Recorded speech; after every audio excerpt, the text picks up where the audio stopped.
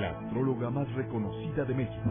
Es el terremoto que va a venir desde San Francisco. Recordaremos el dolor que enfrentó al perder a sus hijos De los solamente y la terrible enfermedad que amenaza su vida.